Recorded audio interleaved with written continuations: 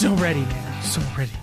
and we are live, folks. Welcome to the Sit Down Standard, the podcast celebrating all the amazing things you can do while sitting, whether it's enjoying movies, watching television, or playing games, or enjoying virtual reality. As Whoa. Podcasting in! Podcasting in VR. uh, so I am your host, David Bray. I'm joined as always by Gerald Bales Hi. and Jordan Peterson. That's a Mr. Jordan Peterson to you. How are you guys? Are you guys doing good in VR there? It's pretty good. How long are you going to keep that on your Pretty, head? pretty good. I can look at my notes here. You should have virtual notes. It doesn't work. If I if I put I can see it. Here's the deal, folks. This is an exact reason why you need to go to YouTube and check out our video version of our podcast if you're just listening to the audio version, because you can see Gerald put silly things on his head. Yep. Um, but as always, if you are listening to the audio version, you can check us out on iTunes. You can also go on SoundCloud and Stitcher Radio. And you can also email us, which one of our awesome listeners sent us an email. Yep. What? Yeah, email Listen, time. Read it out. Okay, we got an email from Aaron from Texas. He's from uh, College Station, Texas. Gig'em. A A R Aaron. Aaron. A Aaron. A. Ron sent us a uh, email, and uh, first thing he wanted to say is he loves the show. So already, we'll continue reading the email. We like him so Stop far. stop there. You know, sincerely A Aaron. Um, but he wanted to say that he agrees with most of our topics on the show. Um, he actually likes the fact that we did a food episode. By the way, we need to do another food episode. Ah, we could have done food for like four hours. I'm fat enough as I am. I love food. The other thing you said is seriously, what's the deal? Why isn't Diablo one, two, or three on our top five video games of all time? Diablo 2 was Diablo- almost on my list. Diablo 2, Lord of Destruction, mainly the expansion. Okay. Those ball runs, you know what I'm talking about? Doing ball runs. Um, Diablo- honorable mention. Honorable mention, Diablo, 2. Diablo 3 sucked. Yeah, Diablo I- 3 wasn't very I'm going to be completely honest. That was a horrible game. I, Yeah, It yeah. was too fast. It was fun, but then it was like, hey, just keep doing the same thing over and over and over and over again. Okay, Sorry. but his bigger concern, uh, why he sent the email, was in response to our Batman versus Superman review. Uh, Here we go. So the big thing he had is he wanted to know why we love Star Wars so much, but then essentially crucified Batman versus Superman. A couple things that he pointed out. Can, wait, can I answer that question? No, no, no, no. Let me get through it. Okay, so first thing is he wanted to. He, he it's obviously it's a Zack Snyder film, so it's going to be dark. It's going to be gritty. That's just his general style. And he also mentions a couple of the points that we kind of brought up with. Obviously, WB, Warner Brothers, DC are obviously going to be competing with Marvel. I mean, there's just no two ways about it. They're they've always been in competition with each other. They're going to be in this movie space, and the mm-hmm. fact that Marvel is obviously years ahead of them in relation to where they're at in their comic books, mm-hmm. they have to make some decisions. They just No, they don't. well, that- I, I I do agree with the fact that I think they do have to make certain decisions based off of how Marvel moves. Which again, I, Yeah, I- but make good decisions. Okay. Anyway, anyway sorry, sorry, sorry. he did want to say he's not just some blind DC fan. He does prefer DC over Marvel, but he's he he understands the bo- both Cool, of them, cool.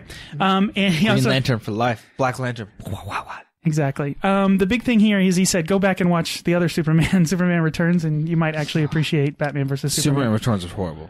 I actually didn't. I didn't hate it. I like Superman that Returns movie. was horrible, but it wasn't as bad as bad as Okay. Superman. So uh, now that we've had basically a week to talk about this, um, the thing I wanted to bring up is: it, has your guys' opinion changed? Have you thought about it? Because I've I've read a bunch of articles about it, um, and saw a bunch of other people's reviews and some of the good things that people pointed out that maybe I didn't think about.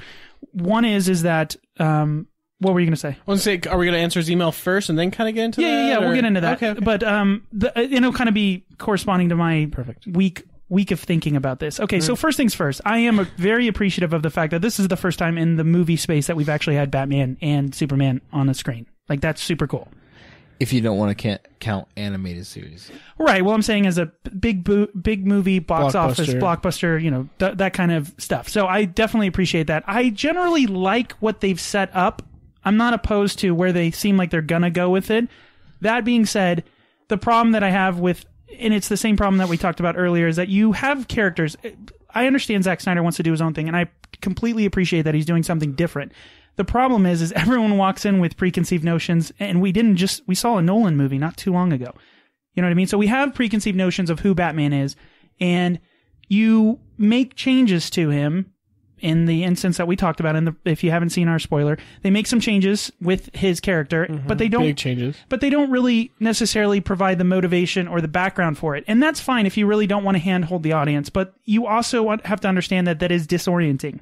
You know what I mean? Like Very. it's it's not what you're used to, so it, you get pulled out of the movie. Now, if you show the motivation and the background, which again, I think this movie They show some brief glimpses of it, like Robin's costume and stuff, that kind of led Batman to how he acts in this movie. Right. But I mean, just it's very brief, and it's not. I don't think it's enough to go as far as what Batman does in this movie. Right. So that's explain that. for me. I like I said, I, I am appreciative of Zack Snyder's. Again, I think he can shoot a movie like nobody else. Like his cinematography in this movie, like just the fight scene with Batman, It's is- unique, I'll give you it's that. awesome. Like it's super cool. So that's kind of how I feel about it. Feel about it is I am appreciative of the fact that it exists, and I would tell people still go see it because I think there's a, there's enough. If you are, especially if you're a comic book fan, there is some definitely some comic book fan service in this movie versus like a Marvel movie. With that being said, I still I don't know. Marvel. I don't know about that. I'm saying for the there's fans. some there's some deep deep DC stuff in this movie that only a hardcore DC fan would know. Like if you But casually that's the problem. You go too deep into that nerddom. It's not like Marvel where you got, oh, they got Howard the Duck. That's cool. Remember nerds? Howard the Duck. That's so Oh, Howard cool. Duck is so cool. Yeah, we like Howard the Duck. Yeah. They had this the space dog in, in Guardians of the Galaxy. Those little fan services. But when you're putting stuff in Batman and Superman, that's like only the nerds will get. Super, super, super nerds will get these. Right. Um, it's almost it's it's too deep. No, I agree, and and we talked. I we were talking about this earlier off the podcast that it, the f- week to week from Friday to Friday, it's one of the low, highest percentage drops eighty one percent. From from Wow. making money Eighty one percent. Yeah. from its Wow. opening weekend to its second And, weekend. and, you know, I have to say, like the people like me, like I was talking to my brother, and I was like, eh, eh, it sucked. It was horrible. Fantastic Four dropped didn't like enjoy it. seventy four percent. So this is even yeah, worse. and he's like, and I was like, I'll still still make a you know millions of dollars on this thing, but he was like, maybe not, because people like me who aren't big fans talk to their little brother who is a big fan and realize that it sucks, and I'm not gonna go bother going seeing it. And Yeah, I probably had two people at work. They're like, I'll just wait. yeah. Then well, they'll still see it. That's it's, the, it's word of mouth though. I'm just saying we're Oh, all saying that it's horrible. No one's going to see it. Like it's you need to have buzz. The yeah you've got to have people who are into it behind it to say Mm-hmm. you got to go see that movie. Like when Ant Man came out, people didn't know who Ant Man was. Nobody knew it was still a Marvel. Look at, like, film, Guardians- blah, blah, Guardians of the Galaxy is the Guardians perfect example. Yeah, but when people saw it, we said, "Go! You've got to see this movie. It's a fantastic movie." And then other people saw it and they thought it was fantastic and they passed it on. So it held top box office Right. for weeks and weeks.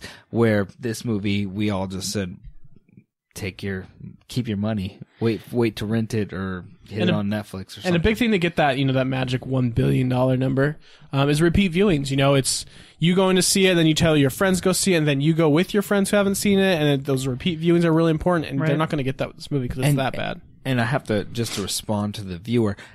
To compare Star Wars to this at all is like uh, Star Wars was fantastic. It was a really great Right. movie, and this yeah. was not a good movie. It Even was the worst of the Star Wars franchise, Phantom Menace, which arguably is terrible, is a way better movie. way this. better. I mean, No, no. Oh, Yeah, it please! is. It, was way better. I stayed No. awake for Phantom Menace. Yeah, but you didn't have twins when you yeah, went to that's this. true. But I, either way, I'm just saying the the Phantom Menace was. In, I watched it recently, and it was more enjoyable than No, this movie. I think you've just out. become That pod angry. racing scene is the most enjoyable part of that movie, and it's more enjoyable. I would rather watch that scene than There's nothing anything about it I like true. more in this world than superheroes. I know. and that was the most disappointing thing I've ever seen in my life. I, it, besides Matrix Three, Fantastic Four or this. Which one's worse? uh, they're very, very close. I have to say, But- but Fantastic Four was worse, and it's Because they put the word fantastic in it. No, the payoff was Fan worse. Fortastic. I actually talked to a friend at work, and then we were talking. We were going back and forth, and he he he brought this up. He said the payoff when you get through Fantastic Four, all the horribleness, and you finally get to the fight.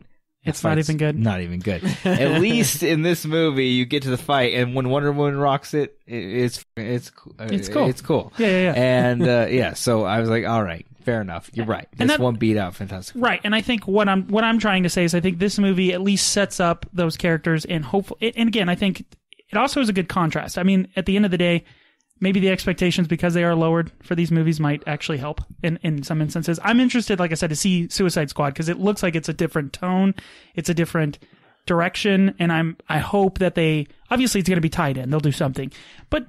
The problem that I had generally with DC versus Marvel, DC versus Marvel is always going to exist. And in reality, DC as much as people love DC, it will always play second fiddle just from marketing. Now, I'm not saying objectively. They might have better storytelling, they might have better characters. But if you go to, on the street and you ask 100 people, name 10 superheroes, a majority of those superheroes will be Marvel superheroes. I disagree. I think the first two you'll hear is Superman and Batman. Yeah, and then yeah, after but that. the other eight. Okay. Fair. But yeah, I'm just That's my saying point. Those, That's my point. Those will be one and two. no, agreed, agreed. No, I, right, I agree. They are they would be high on that list, but I'm saying at the at the same time, the majority of the superheroes that people think of now, I think, are Marvel. Now, that with that being said, I think DC sometimes feels like it has to. It's the little brother, right? So it always feels like it has to you know, try too hard. I don't know if that. I feel mm. like I'm insulting people, but I'm just saying I You get that feel. I get that feeling from this movie that it's trying to play catch up when it really doesn't have to. I mean, in reality, they can take their time just like Marvel No. did. They'll yeah, they're they're not going to get some of that Avengers money right off the bat, but that payoff, as long as you develop these characters quickly, like Marvel did, Yeah. the payoff will be a lot more. And you're screwing your fans by I doing a think disservice like this. It just if they sucks. did this movie after four other movies that actually explained everything properly, it, this would have been a great movie. Of course it'll be. It, which is sad because they they've like all these new movies that are coming out are prequels to this movie. I know we talked about this last week, but they could have just waited and just done it slowly. We would have all gone and see the new Batman. We would have all gone and see Wonder Right. Woman. We would have all gone and see all the people that go and see Batman versus Superman are gonna see these other movies. Green Lantern Corps. I cannot wait for Green Lantern Yeah. Corps. I don't care how much I hate Batman Superman. I cannot wait for Green Lantern Corps. Uh, it's just it's sad that they felt the need to skip all those things to hit this Right. big punch, which was Batman versus Superman, and then just drop the ball so hard. Yep. Yeah. When they could have just waited, done all these movies that actually built up to this big Batman versus Superman, and then it would have all made sense and been a fantastic movie, and we'd all be celebrating its fantasticness instead of saying, "What were they doing?" right? And it's just it's a lot of greed, unfortunately. It's not even like you, you can't even blame Zack Snyder at this point. It's the people above him that are like, listen, we want to make this money. This is what we wanted to see on the screen. Right. We make it about happen. it's Yeah. a Spider-Man three problem. I don't think Sam Raimi ever really wanted to do Venom. And I, I and the reason I say that is because he chose Topher Grace to play Venom. I don't think he ever knew who Venom was. must There's not no have. way. I mean, how would you pick? How oh, the casting people should be just slapped in the face. Yeah. How do you pick that guy? I don't know. Okay, so we appreciate the email. I think we, Yes, we answered definitely. it. Thank you. I like the fact that we, I want more emails of telling us that we're wrong. I absolutely love it. and I'll rebut every single one Oh, of them. stop. That's right. Okay. I'm never. Wrong. Thank you again, AA Ron. Thanks, Aaron, Hey, from Ron. Texas. And of course, you can always send us an email. It's at Sitdownstandard at gmail.com. Okay. Now, let's move into the well, technically I guess the second thing, usually the first thing of every episode. What you doing? What you doing? What you doing? Ba-da-da-da-da. Pow. Thank you, Jordan. All right. Let's start with Jordan since he made the noise. Jordan, what you doing? Ah, that's what I got to do now to get first. Oh, I've been VRing it up.